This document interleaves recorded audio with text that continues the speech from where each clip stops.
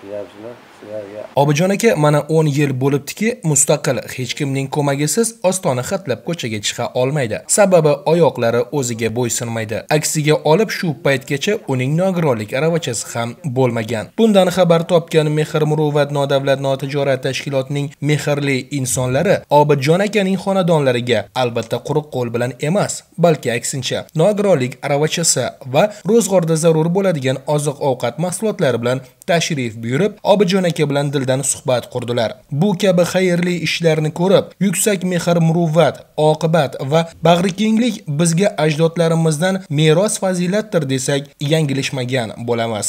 kecha kuni o'zi televizorda axborotni ko'rib tursam sizlar qaysidir xonadonga borib shu xayriya fondini shunaqangi kam ta'minlangan nogironi bor insonlarni kunidan holidan horagani borganlaringni ko'rib o'tirib havasim keldi.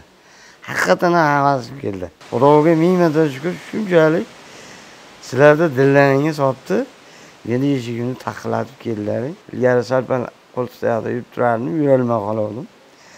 Mana xudoni o'zi yetkazdi sizlarni menga. Xudoga ming marta shukur rahmat sizlarga.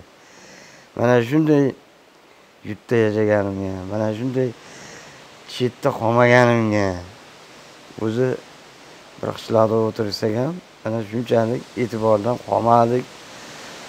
Haliyam qolganimiz yo'q. Xudoga ming marta shu sizlarga ham rahmat. Bemorlardan xabar olish, ularning ko'nglini ko'tarish, dardini yengillatish xalqimizning azaliy qadriyatlaridan hisoblanishini ta'kidlab o'tdik. Mehr Muruvvat tashkiloti ham ana shunday xayrli ishlarni davom ettirgan holda 10 ga yaqin xonadonlarga tashrif buyurib, bemorlar holidan xabar olish bilan bir qatorda ularga yordam tariqasida zarur dori-darmonlar ham keltirdilar. mehr muruvvat xayriya fondi o'zini e, yaxshi amallarini xayriya aksiyalarini davom ettirib kelyapti mana bugun ham kam ta'minlangan e, oilalarga bemor e, fuqarolarimizga e, o'zimizni mehr muruvvat xayriya fondiga tushgan pul mablag'laridan pul mablag'lari qolaversa dori darmon vositalari oziq ovqat mahsulotlari antiseptik gigiyenik mahsulotlarni bugun mana shu fuqarolarimizga tarqatyapmiz bundan maqsad mana shu fuqarolarimizni ozgina bo'lsada holidan xabar olish e,